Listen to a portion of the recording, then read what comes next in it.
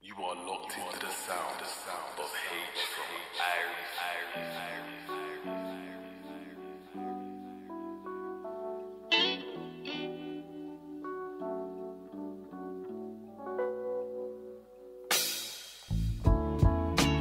I don't know what you have got, girl.